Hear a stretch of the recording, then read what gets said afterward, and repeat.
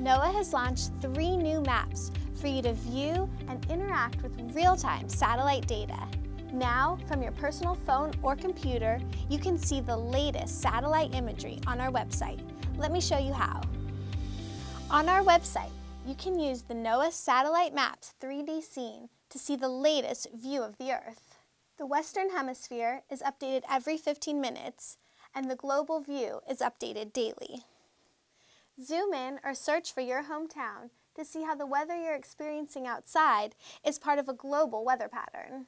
Click on these options to see severe storms forming by looking at things like water vapor in the atmosphere.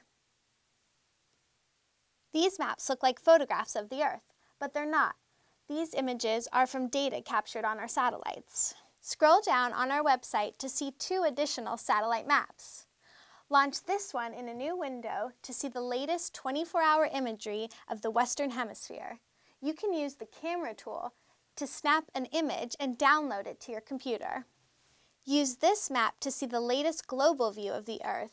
You can launch this one in a new window as well and go back in time to see past historical events like the hurricane season from last year.